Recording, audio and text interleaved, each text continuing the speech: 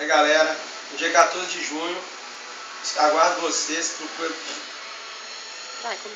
Não, vai, pode ir? Alô galera, no dia 14 de junho, aguardo vocês no curso de MMA.